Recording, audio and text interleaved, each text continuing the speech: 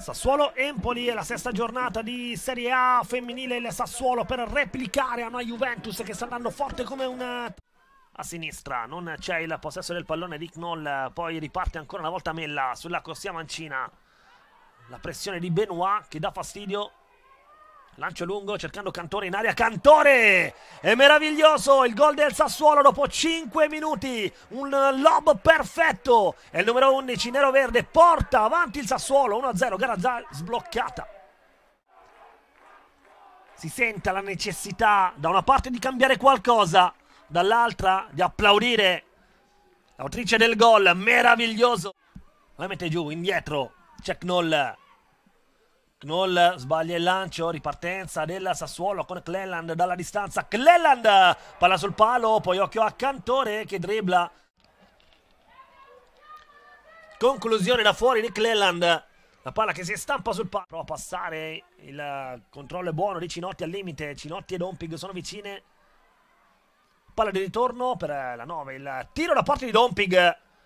Squillo dell'Empoli sul finire del primo tempo. Oliviero l'ha buttata in calcio d'angolo dall'altra parte. Ancora Parisi, stavolta traiettoria a uscire. Palla sul primo palo, spizzata.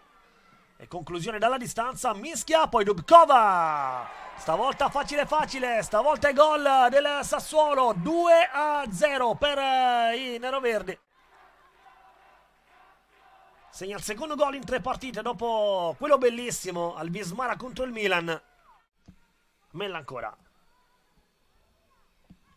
Bellucci in fase di impostazione urla tanto per dare indicazioni alle sue compagne. Palla lunga, occhio a Cantore all'interno dell'area. Cantore!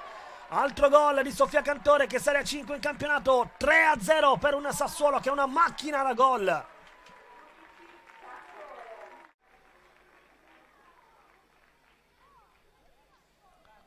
Dopo il gol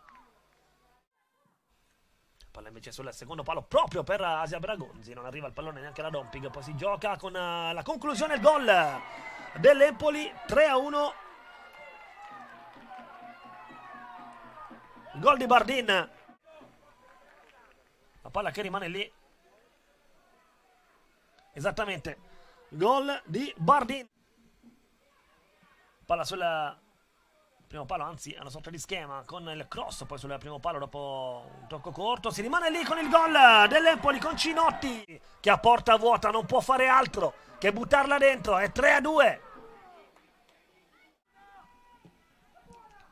Palla sul secondo palo per la Dompig che non ci arriva Dubkova, allontana, non è finita, ci può provare Bellucci dalla distanza, conclusione, Murato, altro tiro di Prugna, vicino al pareggio l'Empoli. Confusione, palla al limite.